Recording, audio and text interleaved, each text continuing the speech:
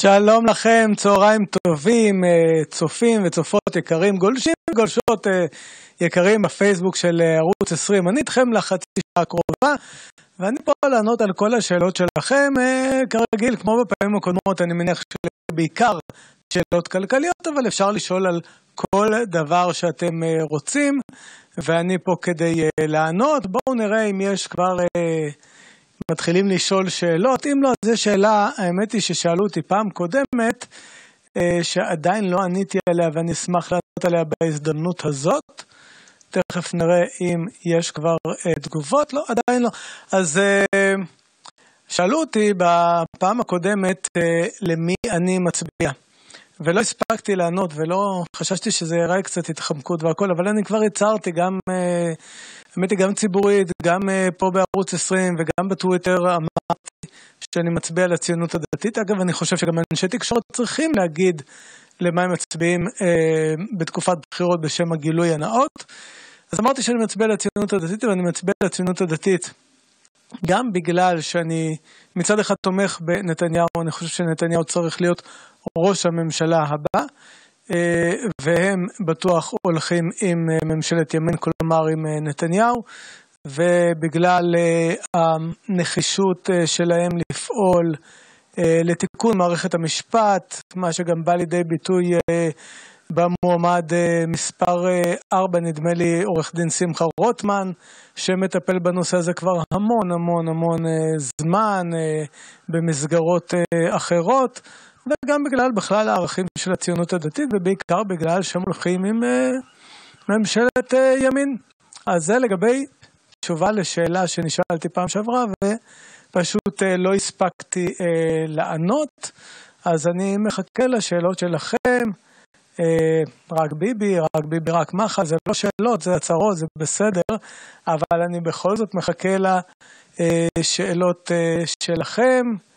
בואו נראה. אה, אתם חייבים לעבוד חזק כדי לפרק את השמאל. אה, בסדר, אני חושב שכולם צריכים לעבוד. אגב, העבודה היא באמת של כולם.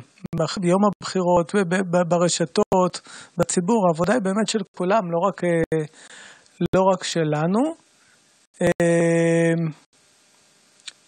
הנה, מה אתה חושב, מי שואל, אסף, מה אתה חושב שאנשי ימין פשוטי, פשוטים שנחסמים בטוויטר או בפייסבוק בגלל דעתם אה, צריכים אה, לעשות. האמת היא שאני באמת לא יודע, זה, זה משהו נורא ואיום. אני מכיר לא מעט חברי אה, רשת שלי וגם חברים במציאות שנחסמים בטוויטר ובפייסבוק. פשוט להרים קול צעקה, אין לי מושג מה עוד אפשר לעשות. אני חושב שאולי הליכוד צריך לקחת אולי את עורך דין דבורין או מישהו אחר ולהתחיל להגיש תביעות בעניין הזה, זה לא ייתכן. אנחנו לא רואים אנשי שמאל נחסמים ואנחנו רואים אנשי ימין, אנשי ימין נחסמים על כלום. ממש על כלום. אה, פשוט אנשי שמאל מתלוננים אה, בכמויות, כנראה מתארגנים, בוטים או לא בוטים, אני לא יודע, מתלוננים ואנשי ימין נחסמים. זה משהו שלא אמור לקרות. צריך להקים קול צעקה, ואולי מישהו יותר אה, ממוסד אה, צריך לטפל בזה ברמה המשפטית. אה, בואו נראה, האם שווה להיות עצמאי בישראל? שואל עמיחי. עמיחי, אני חושב שכן, שווה להיות עצמאי בישראל. לא להיות עצמאי בכלל, יש יתרונות וחסרונות לעצמאים. אבל בהחלט שווה להיות עצמאי במדינת ישראל. מדינת ישראל היא מדינה יזמית, היא מדינה שמאפשרת לעסקים לפעול. נכון, יש רגולציה, נכון, אנשים אוהבים uh, לבכות ולהתלונן, וזה בסדר גמור, אבל בסופו של דבר, מדינת ישראל היא מדינה יזמית, יש בה כלכלה חופשית. כן, יש לנו כלכלה חופשית, יש אה, הרבה מה לתקן, אה, אנחנו, אבל במדד אה, קלות עשיית העסקים, למשל, של ה-OECD, יש כזה מדד, כמה קל לעשות עסקים, אנחנו היינו במצב, במקום לא טוב, התקדמנו בצורה מאוד יפה ואנחנו ממשיכים להתקדם. כן, כדאי. אני אומר את זה גם כ- כעצמאי, חוץ מארבע שנים שהייתי שכיר, כל חיי הייתי עצמאי, כדאי, לדעתי כדאי. יש בזה את הסיכונים ואת הסיכויים, אבל כדאי. אמ, בואו נראה מה עוד אתם שואלים פה. אורלי פרץ שואלת, ככלכלן, כמה זמן ייקח לנו לדעתך לצאת מהמצב הכלכלי שנקלענו אליו? למרות שאני מאוד סומכת על ביבי מכולם. אז כמה זמן ייקח לנו לצאת מהמצב, מהמצב הכלכלי? יש איזו תשובה אה, ברורה בחלקה לפחות. אה, בנק ישראל אה, צפה אה, צמיחה של אה, נדמה לי 4.5 אחוזים בשנת 2021, שזה לא מספיק כדי לצאת מהמצב הכלכלי, כי ירדנו, אמנם לא ירדנו הרבה, ירדנו 2.4 אחוזים, אבל בעקבות החיסונים הוא העלה את התחזית ל-6.3 אחוזים צמיחה. במספרים זה אומר 37 מיליארד שקלים נוספים השנה לצמיחה. אה, אני מעריך שאנחנו יכולים לצמוח יותר מזה, כי לדעתי החיסונים, מהירות החיסונים, היא עולה אפילו על מה שבנק ישראל צפה. אם נהיה יותר מ-6.3% צמיחה, אפילו 7% צמיחה השנה, אנחנו אה, יכולים מהר מאוד להתאושש מהמשבר של שנה שעברה ולהמשיך הלאה. יש לנו כלכלה חזקה מאוד, יש לנו מדינה חזקה, יש לנו מדינה יזמית, יש לנו מגזר עסקי מדהים, ואם השמאל לא יעלה, אז אנחנו יכולים להתאושש מהר מאוד. ואני אומר בכוונה שאם השמאל לא יעלה, כי מה לעשות, המדיניות הכלכל... הכלכלית של השמאל תהרוס גם כלכלה בריאה ולא רק כלכלה שצריכה להשתקם מהקורונה. אז כן, אם תהיה פה ממשלת ימין, יש מקום לאופטימיות, אנחנו יכולים להתאושש מהר מאוד אה, ולצאת מזה אפילו מחוזקים.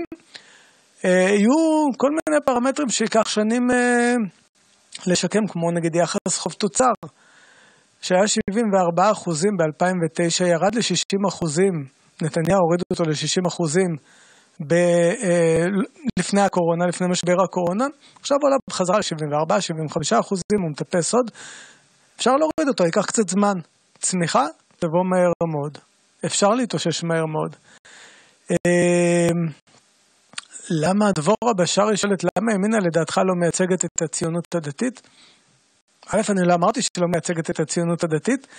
אה, הם אמרו בהתחלה שהם לא מייצגים ואחר כך שהם כן מייצגים. אה, יש פה זיגזוג, אה, אני חושב. לטעמי הציונות הדתית, מפלגת הציונות הדתית מייצגת יותר טוב את הציונות הדתית. ימינה מגמגמת, הם צריכים להפסיק לגמגם זאת גם העצה שלי אליהם, להפסיק לגמגם ולהגיד מי הם ומה הם. כי בעיתונות, בעיתונות של הציונות הדתית, בעיתוני בתי הכנסת הם כן ציונות דתית. במקומות אחרים מעניין אותם רק קורונה ומה שלא קורונה לא מעניין. ציונות דתית לא רוצה ללכת עם העבודה ומרץ והיא לא רוצה אה, להפיל את נתניהו. אז ימינה צריכים להחליט מה הם, לא, לא אני ולא אף אחד צריך להחליט. הם צריכים להחליט ולהגיד בקול ברור מה הם. אני מקווה שנשאר להם מספיק זמן לעשות את זה אגב. אה, כי עוד מעט בחירות וככל שמתקרבים לבחירות ופתאום משנים עמדות, זה מאוד uh, בעייתי. Uh, אוריאל שואל, מה אתה חושב על התוכנית הכלכלית הליברלית שמוביל בנט בתקופה האחרונה?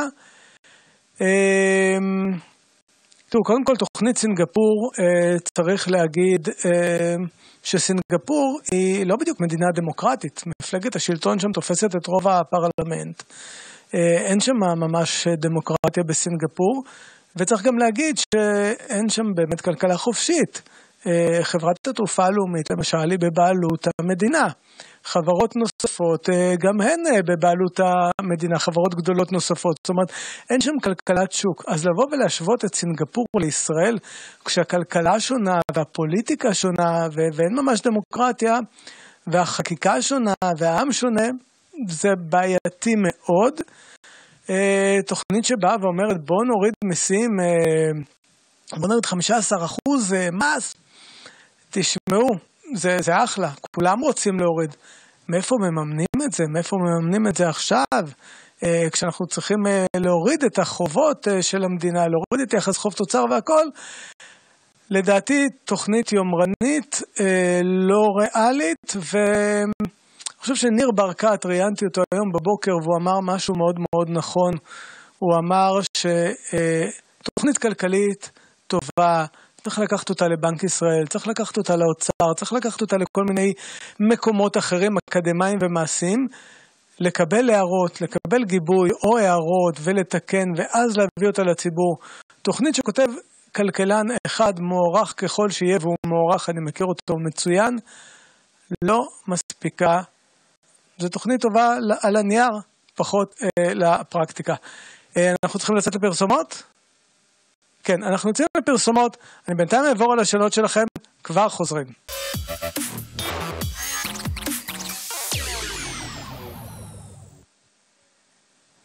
שלום לכם, אה, חזרנו אליכם עם עוד אה, שאלות, ובואו נתחיל כי יש לכם שאלות מעניינות. אורלי פרץ אה, שואלת, האם לפי דעתך בנט ימני יותר לכיוון שלכם או בעד מדינה רפורמית? אז קודם כל, אורלי, נפתלי בנט הוא ימני מאוד, לגמרי, מלא מלא. נפתלי בנט הוא גם, אני חושב, אין, אין בינו לבין רפורמים, שום דבר. אה, ונפתלי בנט הוא איש טוב שרוצה לעשות טוב. אבל יש פה, יש בעיה, יש בעיה עם כך שימינה אין לה כיוון.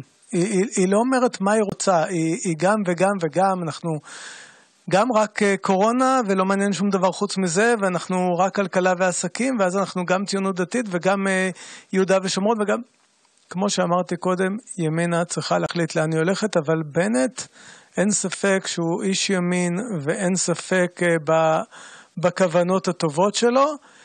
יש פה בעיה, אה, לדעתי, של כיוון. לצערי הרב, אני חשבתי ש, שימינה צריכה להיות, הייתה צריכה להיות חלק מהממשלה הזאת.